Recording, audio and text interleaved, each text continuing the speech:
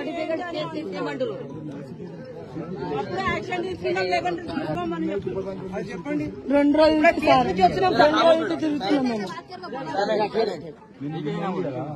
నేనైతే ఇప్పటిదాకా మేము వస్తున్నాం ఇప్పుడు ఎందుకు చేస్తున్నాం? ఎట్లయితే? ఉదయం నుంచి మీ స్టాఫ్ తక్కున్నారా ఎవరే ఉన్నారు చెప్తారు కదా అన్యాయం ఇది. ఇంట్లో పేదోళ్ళు అన్యాయం టూ మచ్ చేస్తామని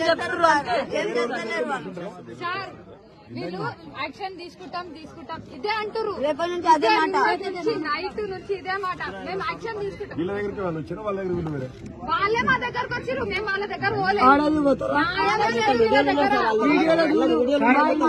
సార్ ఒక సార్ ఒక మాట చెప్పాలంటే ఆ మసీద్ కూడా ఇల్లీగల్ కన్స్ట్రక్షన్ అది.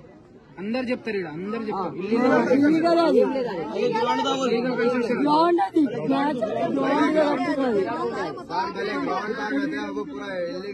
సార్ వీళ్ళది చిన్న గుడి ఉంది సార్. చిన్న గుడి లోపల ఉంది. గుడి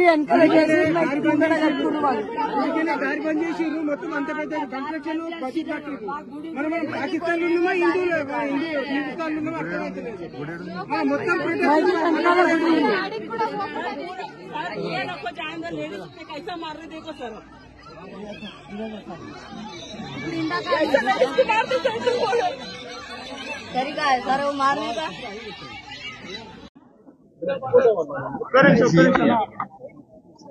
ఈ యొక్క చెంగిచెల్ల గ్రామంలో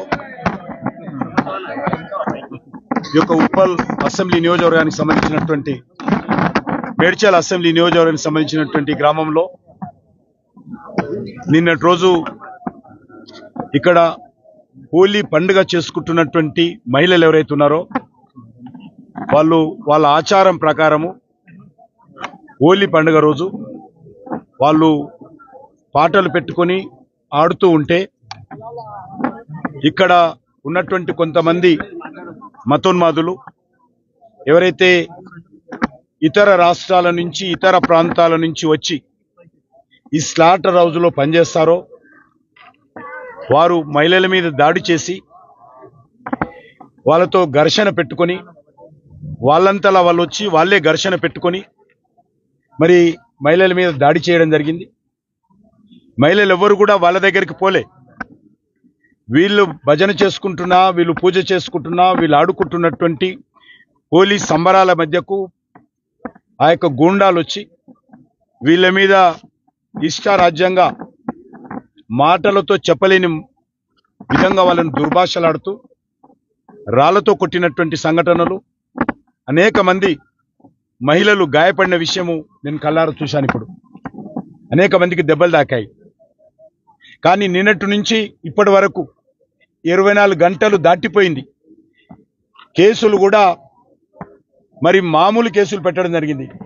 తలలు పగిలి ఎనిమిది కుట్టు పడితే హాస్పిటల్లో కూడా వాళ్ళని పెట్టుకోవడానికి కూడా మరి కేసు పెద్దగా అవుతుంది కాబట్టి వెంటనే మరి అవుట్ పేషెంట్ కింద వాళ్ళని డిశ్చార్జ్ చేయడం జరిగింది. అదేవిధంగా ఈరోజు ఇరవై నాలుగు గంటలైనా ఏ ఒక్కరిని కూడా ఇంతవరకు అరెస్ట్ చేయలేదు. ఎందుకు అరెస్ట్ చేయలేదంటే మేము దర్యాప్తు చేస్తూ ఉన్నాము. వాళ్ళ అభిప్రాయాలు తీసుకుంటూనే ఉన్నారు. కళ్ళ ముందు కనిపిస్తా ఉంది. దెబ్బలు తాకినటువంటి వ్యక్తులు హాస్పిటల్లో ఉన్నారు. యుద్ధ ప్రాతిపాదిక మీద రాత్రి రాత్రి అరెస్ట్ చేయాల్సినటువంటి బాధ్యత పోలీసుల మీద ఉన్నది. ఒక దిక్కు ఎలక్షన్ కోడ్ ఉన్నది.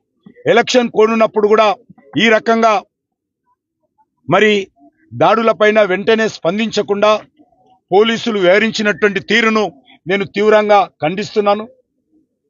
ఇది ఏమాత్రం మంచిది కాదు. వాళ్ళు అనుకుంటున్నారేమో. ఇక్కడ ముఖ్యమంత్రి ఉన్నాడు. ఇక్కడ రాజకీయ పార్టీలు ఉన్నాయి. ఇక్కడ మజిలిస్ పార్టీ ఉంది.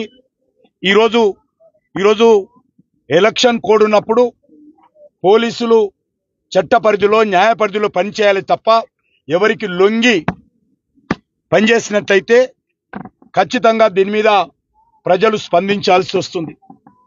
మహిళలు అనకుండా మహిళల మీద దాడులు చేస్తూ ఉన్నారు. కనీసము మరి బాలింతలు ఉన్నారు కొంతమంది మరి ఇక్కడ గర్భవతులైనటువంటి మహిళలు ఉన్నారు వాళ్ళ మీద కూడా దాడులు జరిగాయి. ఒక ఆమె ఇంతవరకు గాంధీ హాస్పిటల్ ఉన్నారు. నేను అడుగుతా ఉన్నాను. వీళ్ళు గిరిజనులు కాబట్టి పేదవాళ్ళు కాబట్టి మరి వీళ్ళు దాడులు జరిగి కుట్లు ఎనిమిది మంది కుట్లు పడితే అవుట్ పేషెంట్గా ట్రీట్ చేస్తారా? ఇదా ప్రభుత్వం వివరించినటువంటి ప్రధానం. పోలీసులకు బాధ్యత లేదా దీంట్లో? ఇదే విధంగా పోలీసులు వివరిస్తారా? ఇన్నిసార్లు పోలీస్ స్టేషన్లకు వెళ్తే పోలీస్ స్టేషన్లో పోలీస్ స్టేషన్ ముందు ఆ వచ్చినటువంటి గూండాలు అక్కడ ఉన్నటువంటి మహిళలను చూడకుండా పేద మహిళల మీద పోలీస్ స్టేషన్లు కూడా బట్టలు లాగి దాడులు చేస్తా ఉంటే వాళ్ళ మీద కేసులు పెట్టారా? ఇరవై నాలుగు గంటలైనా ఇదే విధంగా వివరిస్తారా? ఇదే ఉల్టా జరిగినుంటే ఆగేవాళ్ళ?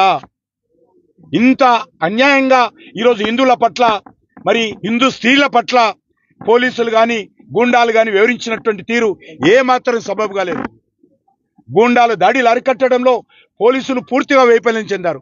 నేను చూస్తున్నాను పోలీసుల ముందే ఎగిరేగి ఎగిరెగిరి. మహిళలని చూడకుండా దాడులు జరుగుతూ ఉంటే చూస్తూ కూర్చుంటున్నారు పోలీసులు. ఇంకా ఇప్పుడు అడుగుతుంటే చెప్తా ఉన్నారు ఇంకా దర్యాప్తు చేస్తా ఉన్నామని.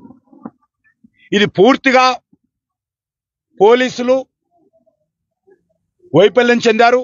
అంతేకాదు దీని వెనక ఉన్నదంతా కూడా ఈ యొక్క చెంగిచెర్ల స్లాటర్ హౌస్ మాఫియా